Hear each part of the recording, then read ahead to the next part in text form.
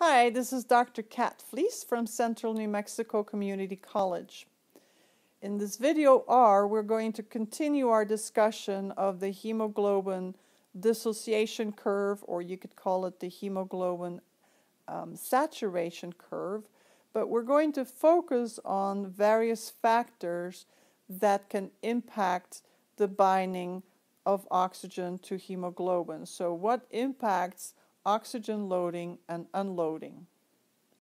There are four factors that impact hemoglobin saturation. Temperature, pH, the partial pressure of carbon dioxide, and then a byproduct of glycolysis in our red blood cells called BPG, which stands for 2 3 bisphosphoglycerate. We'll just refer to it as BPG. Each one of these four factors is going to increase in metabolically active cells.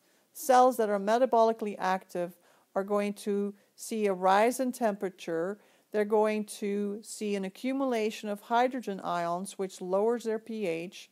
They're going to accumulate more carbon dioxide, and they're going to see an increase in BPG because the red blood cells um, are going to also become metabolically active in the blood that is nearby them. So we see increases in any of these factors in met metabolically active cells. And any of these four factors, when they increase, are going to change the 3D structure, the three dimensional structure of our complex protein called hemoglobin.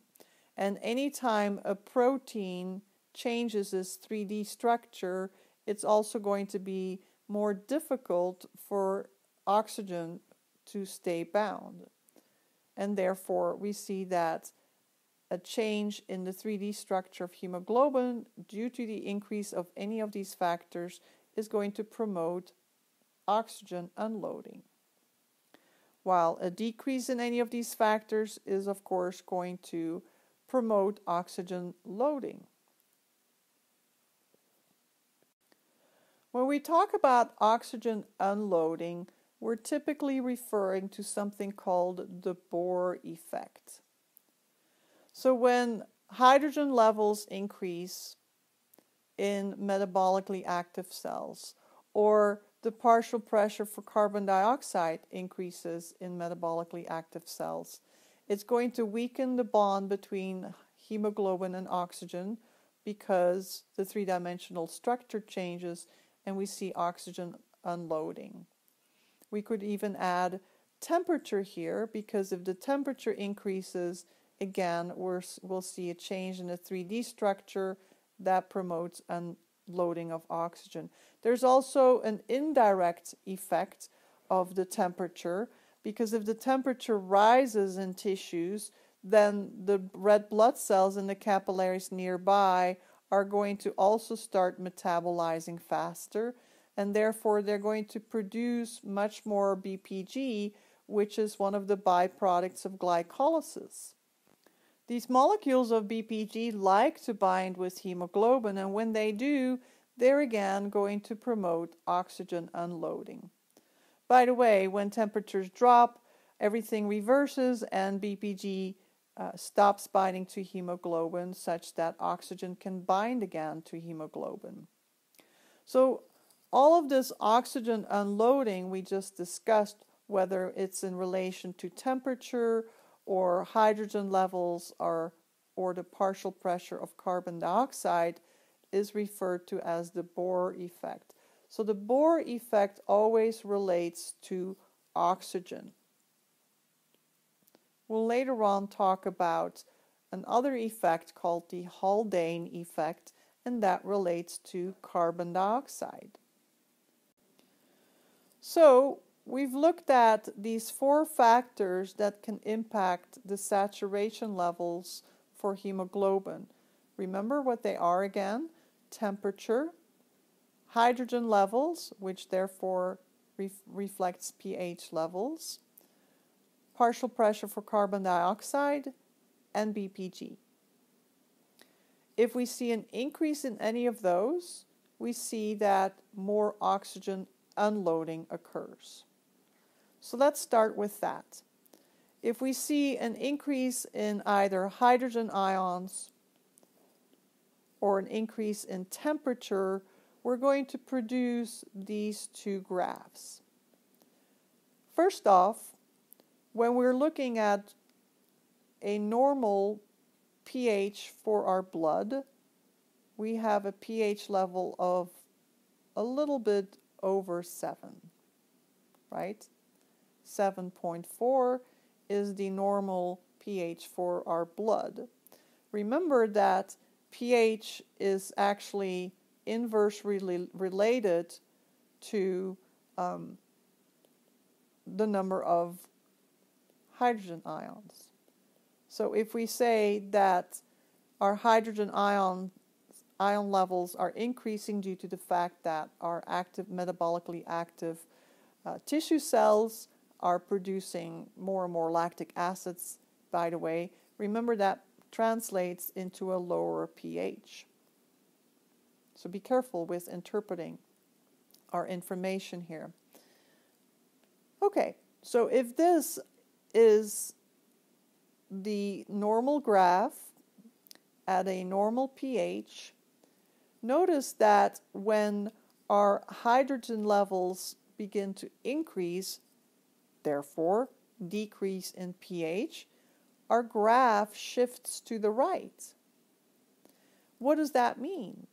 Well, we learned in the earlier slide that oxygen unloading should occur because when we have all of these acids accumulating in our tissues, it means they're metabolically active and they're needing oxygen, and the acidity is literally changing the 3D structure of hemoglobin, promoting the unloading of oxygen. Is this happening when we're shifting to the right in our curve? Well, again, I like to look at this curve from the perspective of oxygen unloading, and remember that's in this direction. So if we look in this direction, which is oxygen unloading, oops, can't spell anymore. It's getting very late at night here. Um, then if we follow for our normal curve, notice how we have a plateau here, so not much oxygen unloading occurring here, and then, yes, we start to see a steeper portion. But take a look at this graph. We have a pretty steep curve here almost right away. And this implies that oxygen loading, I'm sorry, unloading is occurring much faster compared to our normal curve. And so the opposite is the case for when pH of the blood rises. Then we're going to hold on to our oxygen much longer before it starts to unload.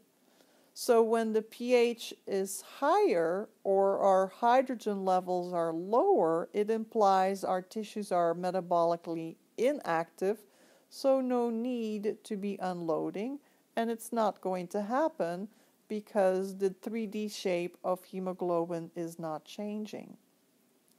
Now you can interpret the second graph the same way. So our normal body temperature is around 37. Here they have it set at 38 for our normal graph. If we now increase the temperature, because tissues are metabolically active, perhaps we even have a fever, we're going to see, we should be seeing an increase in oxygen unloading. So again, go in this direction because that implies we're going from the lungs to the tissues, so therefore we're unloading the oxygen. Notice that once again we have a steeper slope here when the temperature is high compared to our normal temperature. And when the temperature really starts to drop, we have, and we should really extend these graphs here, we have pretty much a plateau here and a plateau there, like so and therefore we have next to no unloading occurring for a long time until we get to this point here. So, in short, when oxygen unloading occurs due to an increase in any of our four factors, so you could create new graphs that represent levels of BPG or that represent increases in partial pressure of carbon dioxide. All of them should show then that the curve will shift to the right when they increase and therefore we need to see more oxygen unloading. If there is a decrease in any of the factors, and again we just have two of them listed, listed here, then our curve is going to shift to the left. It probably is not the best idea for you to memorize when the curve shifts to the right or the left. Be sure that you can interpret the curves such that you understand that oxygen unloading at 37 38 degrees Celsius between the lungs and the t- from the lungs going to the tissues occurs slower than when we look at what happens at a higher body temperature. And just a quick reminder, we've looked at this before and that is carbon monoxide poisoning. Remember that the spot for oxygen on the heme groups can be taken up by carbon monoxide. Carbon monoxide has a much, much, much higher affinity for hemoglobin than oxygen does. So if carbon monoxide is in the same area or in the same atmosphere spheric air mixture that you're inhaling as oxygen is, it will compete with carbon with, with oxygen and take the spot of oxygen to where we're starting to suffer from carbon monoxide poisoning and of course that's going to lead to a form of hypoxia.